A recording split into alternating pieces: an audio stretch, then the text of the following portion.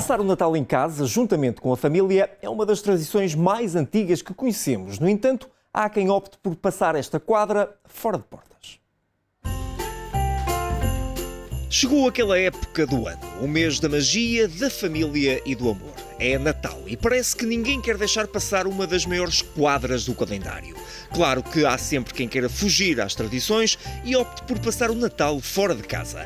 Os requisitos são simples. Na hora de escolher a viagem, o que não pode faltar são mesmo os míticos mercados de Natal. Bom, pelo Natal, e, e, se quisermos, começando pelo início do mês de dezembro, em que começam os mercados de Natal pela Europa uh, em grande força, uh, nós temos tido muita procura a esse nível, ou seja, desde o início de dezembro que os mercados de Natal, uh, seja na Alemanha, seja na Suíça e noutros países, têm tido, têm tido bastante procura.